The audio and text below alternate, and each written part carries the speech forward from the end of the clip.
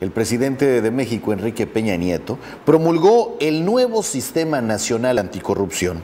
Ahí, el mandatario nacional ofreció una disculpa por el tema de la Casa Blanca. Aceptó que la compra del inmueble fue un error y aunque actuó conforme a derecho, dijo que sintió en carne propia la irritación de los mexicanos.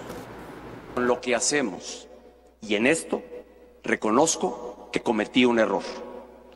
No obstante que me conduje conforme a la ley, este error afectó a mi familia, lastimó la investidura presidencial y dañó la confianza en el gobierno. En carne propia sentí la irritación de los mexicanos. La entiendo perfectamente. Por eso, con toda humildad, les pido perdón.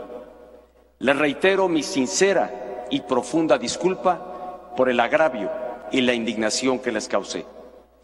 Cada día, a partir de ello, estoy más convencido y decidido a combatir la corrupción.